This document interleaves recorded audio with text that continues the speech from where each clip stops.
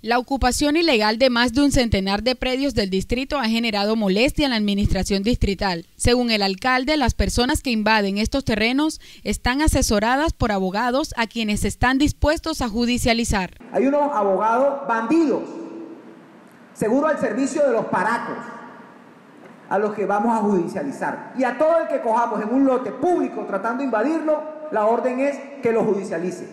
O sea, aquí se va a acabar la guachafita de que cualquiera venía y se cogió un lote y se lo apropiaba y ya. El mandatario anunció que los operativos de recuperación de predios no solo se adelantarán en el sector de Bureche. Vamos a presentar la lista larga de predios que son de todos los amarios y que hoy están bajo el supuesto eh, dominio de particulares.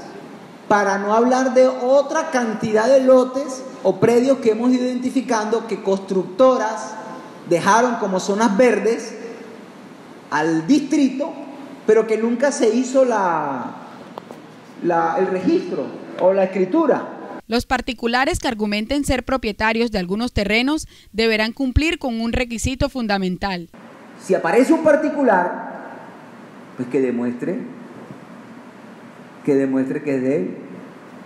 Porque si no tiene matrícula, ¿por qué sí es de un particular y no es del distrito? Pregunto yo.